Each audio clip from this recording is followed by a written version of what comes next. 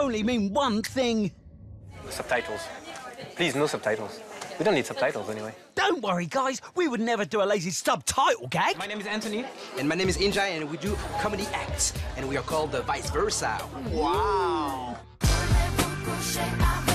Where are you guys from? From Paris. Yeah. Are you? Oui, bonjour. Wow. La France. I only speak the old French. Like what? I tell you what, here's a little idea. We could give our one viewer, Okay. yes, you, You a little watching. French lesson. Let's go for Okay, it. If go you want to repeat after me. Okay. Onions. No. Look. Oignon. Well, you could say it like that Yeah. if you want. Stripy top and beret. No. Bicycle No, no, no, no. Mm-hmm. With basket on the front for all the fruit. and the veg. Bicyclette avec devant un panier Oui. de fruits. C'est ça, des fruits, des légumes. It's always stuffed. Yeah, There's yeah, always loads of it in here. Souffle. Souffle.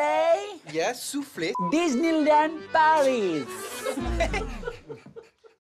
Eurostar. Non. Eurostar. Correct. You're doing very well here, guys. Yeah, so easy to learn French with you. See, this is the thing. You can buy those sets of DVDs Okay. for about 450 quid. Nice. Yeah. Or you tune into ITV2 Britain's Got More Talent, you get a French lesson. Hi, guys. Yo. Hey. Hey! Hey. Hey! Hey. Hey, uh, we are the we are the vice versa. Wow! Your Britain's Got Talent in London. Double wow. Wow, wow. Well, wow! Bonjour. Nice to meet you, the vice versas. That was quite the intro. French boys on the stage. Where are you guys from?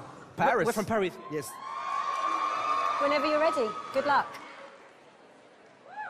So a friend called us like two hours ago. Hi guys, have you heard about Britain's Got Talent audition? I think you should do it. The crowd is crazy. Listen. So we hang up the phone. Then uh, we panicked. so we had to be quick to come here because we were still in Paris. So we ran to the bus, missed the bus, got to the underground. In the underground, that was packed, really packed. oh no. Uh, out of the underground. then we called a taxi. Hey, Hey, taxi! Got to the airport. I really like it too. Got out of the taxi. Got in the plane. Took off. Then we realized that the plane was not going to London. So I opened the door. Then we jumped. Ah! Water. Does anybody actually know what's going on here? So we start running. And because it's cool, let's use the top view camera, high technology. Yes. Ooh, okay, let's go back to the front view. Yes, better. then in the street, a ben. A pigeon. One cat. Now, if you just tuned in, I don't. And here we are in front of you guys.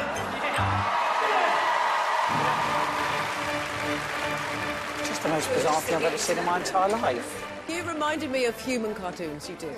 Really entertaining and very quick. Thank you, thank you very much. Thank you very much. I do like these two.